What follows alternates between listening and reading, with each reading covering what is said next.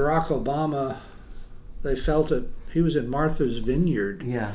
Okay, we're talking about an earthquake that the epicenter is southwest slightly of Washington, northeast slightly of Richmond, and it's felt in Boston.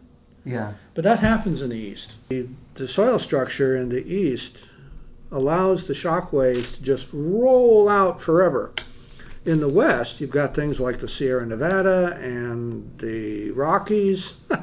and so, I mean, a 5 8 in, in LA won't even be felt in San Francisco. But here we have it going much further. So there's a tendency for people who live in areas that don't have frequent earthquakes to think they don't have any earthquakes. And that's a big mistake because, um, as we saw in New Zealand, city of Christchurch was deemed to be of moderate seismic risk. They didn't even know about that fault that broke.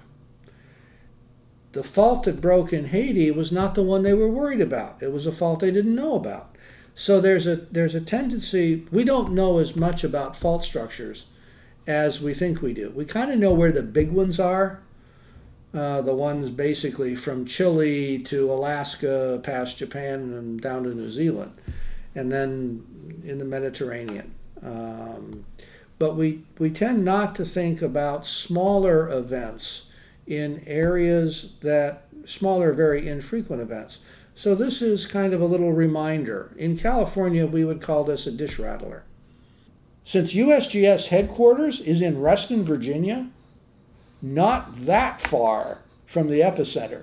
They should have some very good stories to tell about their mapping of the Virginia area because there's obviously a fault there that either we didn't know about um, or that was discounted.